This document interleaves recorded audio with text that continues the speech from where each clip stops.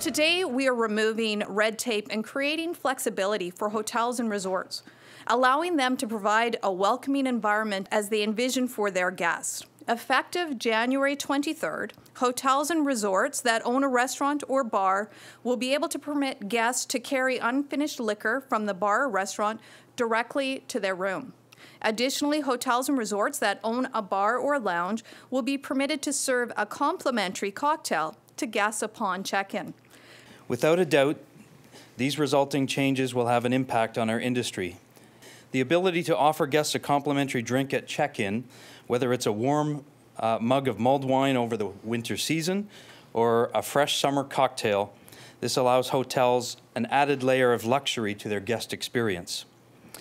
Additionally, having guests being able to take their drink from the hotel bar directly to their room allows a sense of comfort across the entire property further enhancing the guest experience. This change builds on the 48 recommendations we've already implemented to improve liquor laws in BC. Today's announcement is the perfect example of how a simple change, a simple change in the law can do a lot to help a business instead of hinder.